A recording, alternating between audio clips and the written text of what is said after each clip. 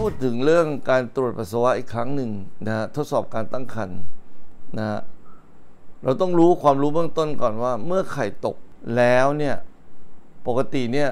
บริเวณที่ไข่ตกมันจะเป็นเรียกว่าคอปัสซูเตียมคอปัสซูเตียมเนี่ยหรือว่าตัวสีเหลืองๆที่ตัวบนตัวรังไข่เนี่ยมันจะทำหน้าที่สร้างโปรเจสเตอโรนหรือตัวที่ทำให้เยื่อบุมดลูกเนี่ยเหมาะกับการฝังตัวเนี่ย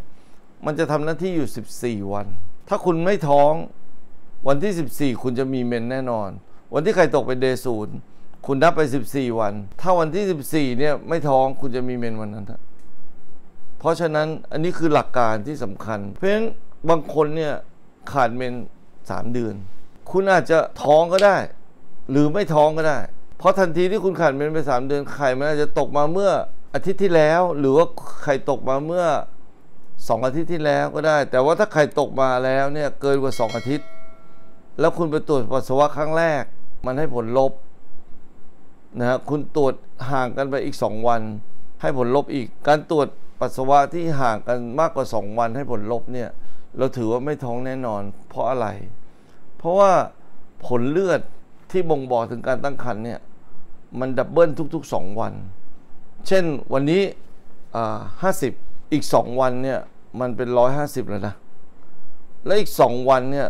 มันเป็น4 500แล้วนะ และอีก2วันเนี่ย มันเป็นพันกว่าแล้ว แล้วมันก็เป็น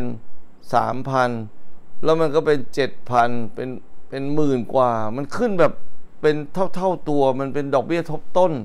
แบบชนิดดอกเบี้ยทบต้นที่มันบวกเพิ่มไปอีกด้วยนะไม่ใช่ไม่ใช่ว่าแค่แค่สองเท่ามันสองเท่ากว่าๆด้วย เพราะฉะนั้นเนี่ยเราถึงบอกว่าถ้าเราตรวจ ครั้งแรกแล้วให้ผลลบ แต่ว่านั่นหมายความว่าในช่วงระยะเวลาที่ไข่ตกไปแล้ว นานพอสมควรเกินกว่า 2 อาทิตย์ ตอนนี้คนไข้ก็บอกว่า เอ๊ะถ้าเกิดว่าคนไข้คนหนึ่งเนี่ยเขาเคยตรวจครั้งแรกแล้วบอกว่าไม่ท้อง แล้วปรากฏว่าอีก 3 เดือนเขามาตรวจอีกทีปรากฏว่าเขาท้องไป 3 เดือนอันนี้เพราะอะไรเพราะว่าครั้งแรกคุณตรวจผิด คุณตรวจในช่วงที่ไข่เนี่ยมันตกไปแค่อาทิตย์เดียวหรือว่าไม่ถึง 14 วันออกมาไม่ท้องอยู่แล้ว ถึงคุณจะตรวจสองครั้งห่างจากนั้นไปอีก2วันก็ไม่ท้อง คุณต้อง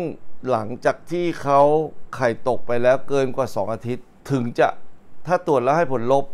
แล้วคุณตรวจอีกครั้งหนึ่งให้ผลลบเนี่ย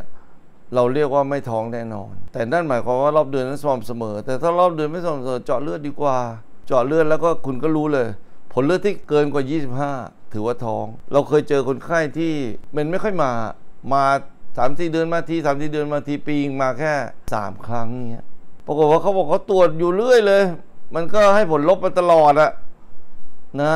ครั้งนี้เนี่ยเขาจะมารักษาเรื่องไม่รู้ยากผมบอกเจาะเลือดดูก่อนพอเจาะเลือดผลเลือดขึ้นไป 31 เอาละสิ ผลเลือดที่เกินกว่า 25 เนี่ย เราถือว่าท้องถ้าเกิดเป็นวันที่สมมุติวันที่ 14 นับจากวันที่ไข่ตกไปเนี่ย แล้วเกินกว่า 25 เราถือว่าท้องเลย คนที่ 31 เพราะฉะนั้นเราก็ต้อง follow up ต่อ ก็คืออีก 2 วันเราต้องตรวจซ้ำอีกทีหนึ่งผลเลือดมันก็จะดับเบิลไป อีก 2 วันก็ประมาณร้อยแล้วมันก็ขึ้นไป 300 แล้วก็ขึ้นไปประมาณ 800พันพันกว่าอะไรขึ้นไปอย่างนี้ เราติดตามไปจนถึงคลอดเลย เพราะฉะนั้นเนี่ยถ้าประจำเดือนมาไม่สม่ำเสมอสิ่งที่ดีที่สุดสำหรับคนที่กังวลเรื่องการท้องไม่ท้องเนี่ยให้ใช้วิธีเจาะเลือด ถ้าเกินกว่า 25 ถือว่าท้อง อันนี้ก็ เป็นความรู้เล็กๆน้อยๆเกี่ยวกับเรื่องของการตั้งครรภ์นะฮะ